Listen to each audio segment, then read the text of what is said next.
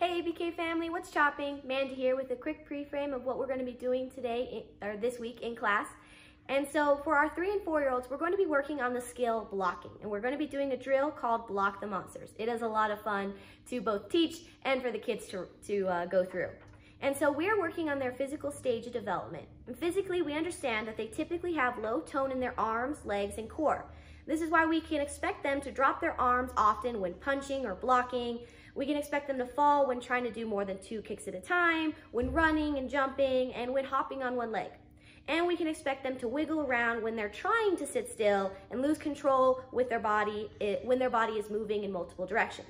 That's why we have a lot of different skills that we work on, like blocking, that help them to build that muscle tone.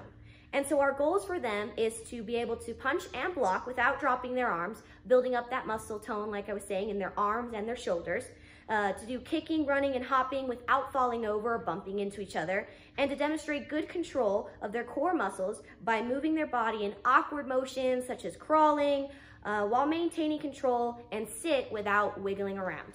And so if you see your child doing any of those things, falling over, especially when we're stretching, that's a lot of time they're, they're a little bit tired. They might fall over because their core muscles just aren't developed. Try not to be upset or angry or frustrated and say, why is my kid doing that? Why can't they sit straight? We're helping them to develop those core muscles so that they can do that in the future and they can excel in every area of their life. So if you have any questions about your child's physical stage of development, please reach out to us. We are happy to help and we're here to serve you.